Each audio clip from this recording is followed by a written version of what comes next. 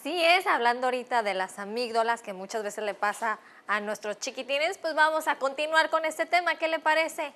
¿Usted sabe cómo ponerle límites a su pequeño? Pues para eso tenemos de invitada a la psicóloga Mildred Castro, que viene del Hospital de la Salud Mental. Bienvenida. Gracias. Platícanos, para empezar, ¿qué son los límites? Bueno, los límites, eh, voy a dar una definición que normalmente los papás dan en el taller este, que se imparte en el hospital.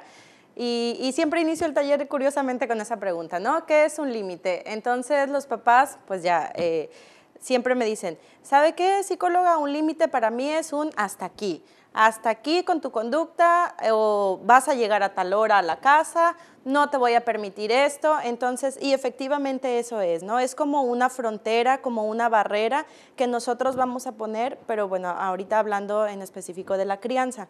Cuando nuestros hijos, por ejemplo, se nos están saliendo de las manos o se nos están atravesando esos límites, es ahí cuando uno como papá tiene que empezar a intervenir y a poner esos límites una de las cosas que los papás también tienen como mucha duda al respecto es, ¿y cómo sé cuándo tengo que poner un límite?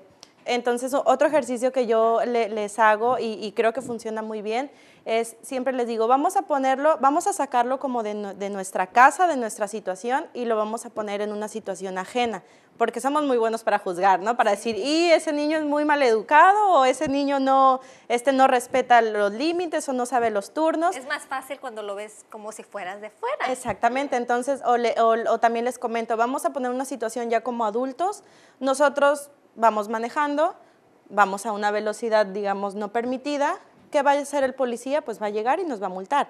Ni siquiera se lo va a pensar y va a haber una consecuencia inmediata. Y es muchas veces en, en, esa parte cuando nosotros como papás dejamos que la conducta de nuestros hijos pase y pase y pase una y otra vez y no ponemos un límite y no ponemos una consecuencia. Entonces nuestros hijos aprenden y dicen, ah, pues lo hice una vez, lo voy a volver a hacer, lo voy a volver a hacer, al cabo que mi papá es el que se cansa. No pasa nada. Ajá. Y Mildred, por ejemplo, ¿existen diferentes estrategias para implementar estas reglas o estos límites en diferentes edades?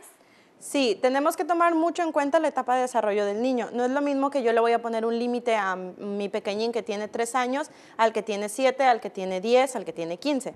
No es lo mismo. A un niño chiquito, pues está en la etapa del berrinche, le podemos permitir los berrinches, pero hay que ver eh, por qué vienen esos berrinches. Por ejemplo, en el berrinche, ¿qué, podemos hacer? Eh, en el berrinche, prácticamente lo que se tiene que hacer es retirar al niño de, donde está. Si es que, por ejemplo, si el berrinche se presenta en el preescolar y la maestra dice, es que hace berrinche y empieza a patear a los compañeros, en los muebles, avienta las cosas, bueno, pues vamos a retirar al niño de ahí, primera para que no se lastime él y en segunda para que no vaya a lastimar a otra persona. Pero el berrinche aunque nosotros le digamos muchísimas cosas, el niño va a seguir haciendo berrinche. Tenemos que esperar a que pase el berrinche. Ahorita que menciona retirarlo, ¿sería dejar que no vaya a la escuela por unos días? no, no, no, retirarlo del, aula, ajá, del aula en ese momento, sacarlo al patio en un lugar un poquito más amplio, donde no haya eh, mesas, o sea, como material que él pudiera estar eh, manipulando y dañándose a él o a otros compañeros. Y uno como papá, ¿cómo lo maneja a la hora? Porque me imagino que uno tiene que tener mucha paciencia y no perder el control. Sí. ¿Qué hacemos? ¿Qué nos puedes aconsejar? Y más, bueno, más que la paciencia, y es algo que también son como puntos muy específicos que se manejan en el taller, es los papás me dicen, es que no lo